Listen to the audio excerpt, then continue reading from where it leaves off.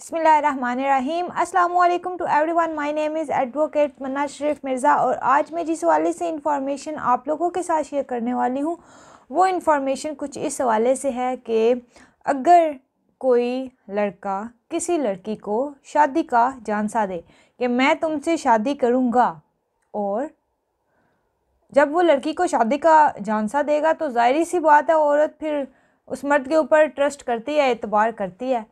تو اب ایسی سچویشن میں اگر کوئی مرد اس کی نازیبا تصاویر بنا لے اور بعد میں اسے پھر بلیک میل کرنا شروع کر دے، تو ایسی صورت میں کیا کیا کارروائی اس لڑکے کے خلاف کی جا سکتی ہے؟ کہ اگر کوئی لڑکا لڑکی کو بلیک میل کر رہا ہے کہ میرے پاس تمہاری نازیبا پکچرز ہیں، تو میں ان کو سوشل میڈیا پر پبلش کر دوں گا انٹرنیٹ پر وائرل ہو جائیں گی تمہاری تصاویر، تو ایسی صورت میں پھر آپ کیا کیا کارروائی اس لڑکے کے خلاف کر سکتے ہیں؟ اب ایسی صورت میں تین قسم کی کاروائیاں کی جا سکتی ہیں۔ کرمنل کارروائی بھی کی جا سکتی ہے سول کارروائی بھی کی جا سکتی ہے۔ نمبر تھری، کہ آپ ایف آئی اے کو کمپلین کریں۔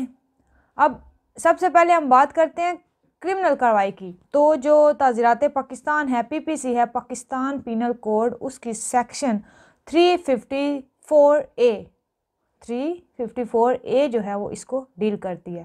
اس میں اب ہے کیا؟ اس میں ہے کہ assault or use of criminal force to woman and stripping her off her clothes کہ کہ اگر کوئی شخص کسی عورت کے کپڑوں کو اتار دے، ان کو پھاڑ دے اور اس کی نازیبا تصاویر بنا لے اور پھر اس کو پبلک ویو کے سامنے لے کر آئے یا سوشل میڈیا انٹرنیٹ پر ان کو پبلش کر دے یا عورت کو ایسی حالت میں ایکسپوز کرے تو اس کی سزا پاکستان پینل کوڈ میں ہے کہ he shall be punished with death اور with imprisonment for life and he shall also be liable to fine تو یہ ہے کرمنل کاروائی۔ دوسرا یہ کہ آپ ایف آئی اے والوں کو کمپلین کر سکتے ہیں۔ ان کو ساری آپ سچویشن بتائیں اسٹوری ان کو بتائیں کہ کیا ہوا ہے اور اس بندے نے فلاں جگہ پہ پبلش کر دی ہیں پکچر انٹرنیٹ پر وائرل کر رہا ہے۔ تو دوسری ریمڈی آپ کے پاس یہ اور تیسری وہ یہ ہے کہ آپ سول سوٹ بھی فائل کر سکتے ہیں۔ اس سے پہلے آپ ان کو نوٹس سینڈ کریں اور اگر وہ اس نوٹس کا جواب نہیں دیتے، آپ ہٹ جانے کا پھر اس کے خلاف کیس کر سکتے ہیں۔ تو یہ تین قسم کی کاروائیاں ہیں جو آپ کر سکتے ہیں۔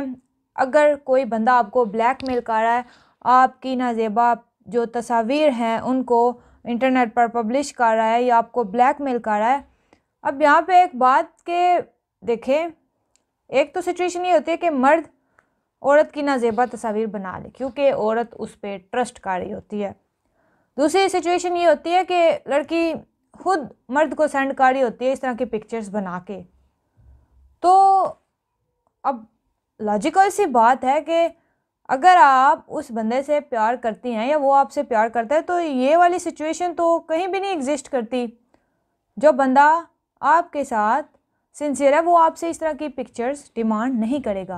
اور اگر کوئی بندہ آپ سے اس طرح کی پکچرز ڈیمانڈ کر رہا ہے، تو آپ کا اتنا مائنڈ ہونا چاہیے کہ آپ اس بات کو سمجھ سکے کہ یہ بندہ کل کو مجھے بلیک میل کرے گا اور اس تصاویر کو لینے کا اس کا مقصد کیا ہے۔ مطلب کہ نہ زیبا تصاویر پہلی بات یہ کہ آپ بنائیں کیوں؟ دوسری بات یہ کہ آپ اس کو سینڈ کیوں کریں؟ اور تیسری بات یہ کہ پیار کریں لیکن ٹرسٹ بالکل نہ کریں۔